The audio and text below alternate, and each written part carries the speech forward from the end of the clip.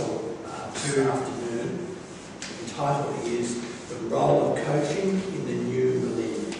The coach, the role of coaching in the new millennium, Mark Austin. Toastmaster, fellow Toastmasters, I guess. Coaching, you've probably heard the term. What is it and what isn't it? And to make it nice and easy, I'm going to spell it out to you. Letter by letter. So firstly, C for coaching. What is it? Well, coaching is a way of helping people to reach their goals. Now, as you know, most sports teams and elite athletes have a coach. But there's been a rise in a different sort of coach, a personal coach in the new, new millennium. What coaching definitely isn't, it's not mentoring where a more experienced person imparts information to a less experienced person. It's not counselling where you, li- where you listen for, for problems mainly based in the past.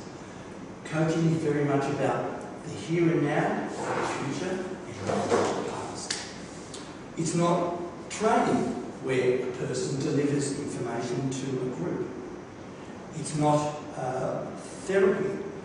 Therapy is where the client brings a problem and things in their life and the therapist helps them to solve. It's past based, but coaching is working not on a problem but on a possibility, potential. Therapy works on the model that the person is broken and needs fixing. Coaching works on the model that the person is whole and is trying to bring out their abilities. So that's the C in coaching.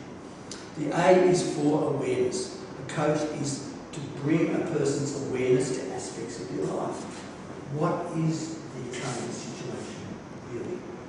What are the obstacles to their goals?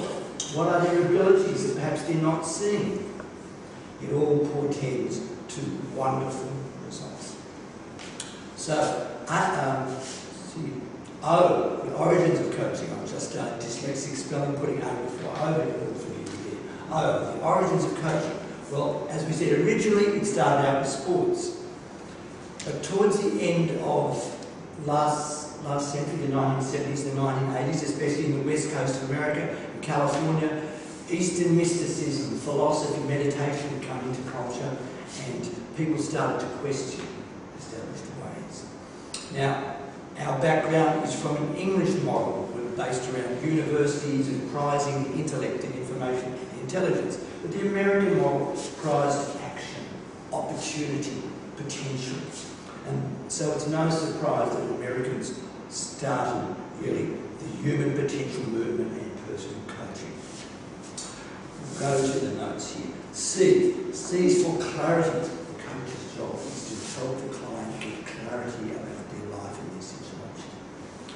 Now, getting, being clear about our lives, sometimes there's a thing called a blind spot. It's like a filter we have. An example is this. Donald Trump is at West Point Academy. He's out marching on the field with, a, with 99 other children. Donald's marching. And Donald's mother says, look at my Donald. He's the only one in step.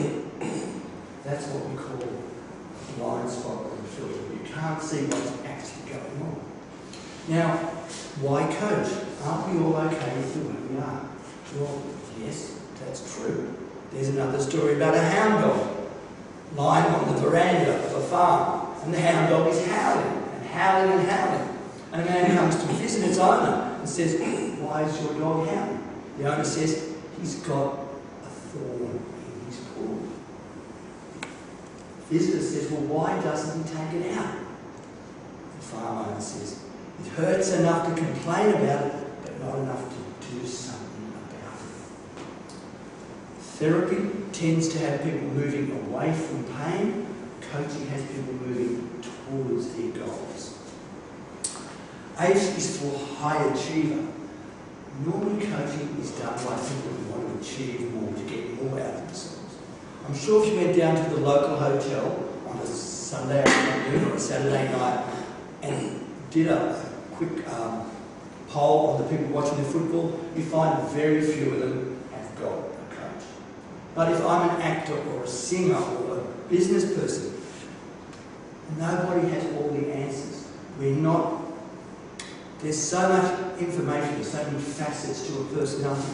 I might be a great chief financial officer, but chances are I'd be hopeless in new resources. But if I have to deal with people, I might need to engage a, um, a people coach to help me with my people skills.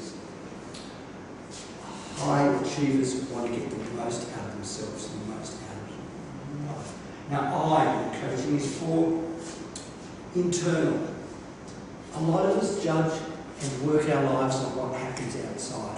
We box ourselves in with our external circumstances.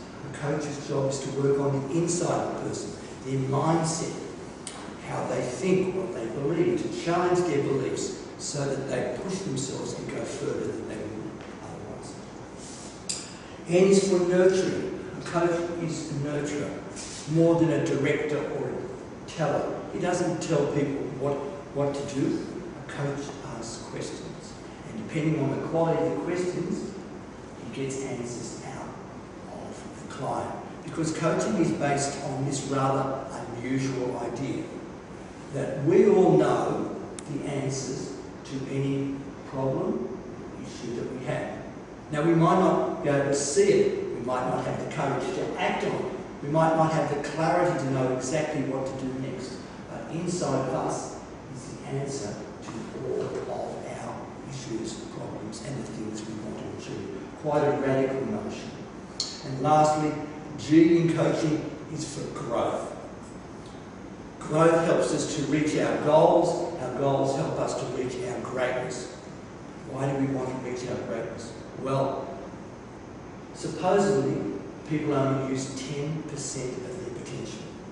And you might remember my example about the flea who can jump 13 inches, which is like a human being being able to jump a 100 story building.